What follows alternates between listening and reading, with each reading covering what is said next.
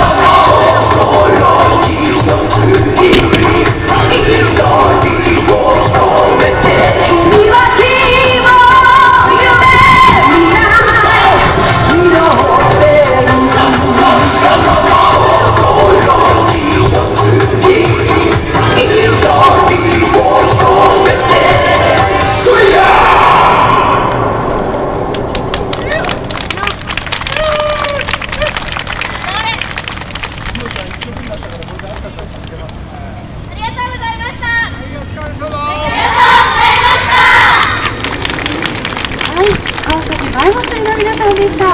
今日は横浜スタジオ内で1時間踊ってくれたということです。今日もこの後木刀セレモニーにご参加いただけます。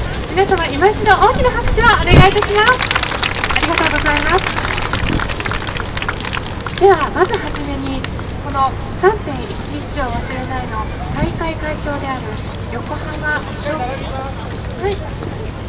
はい、では一度準備をいたします。少々お待ちくださいませ。